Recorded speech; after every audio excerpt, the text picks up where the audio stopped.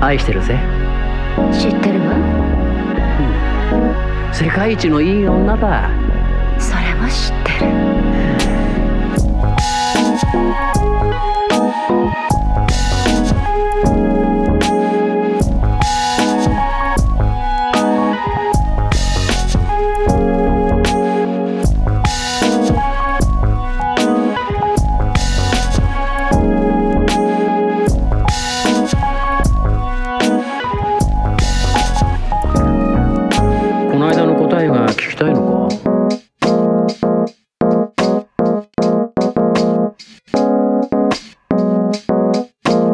藤子。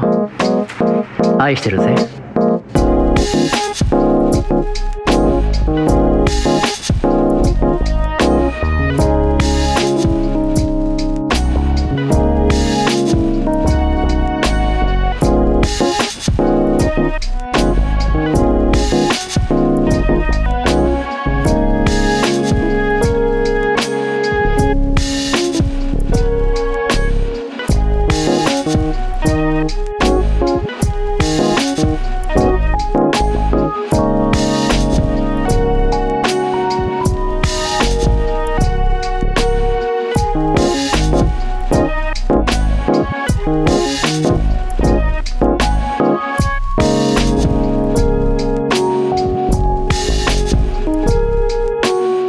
覚悟がないなら悪党なんてやめることだ。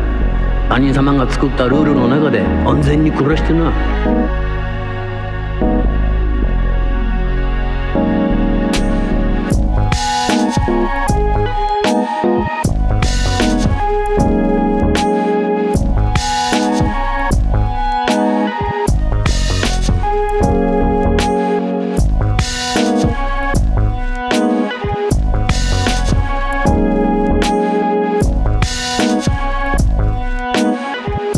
手に持ってんのはおもちゃじゃないんだろ始めるか。命を張ったゲームを。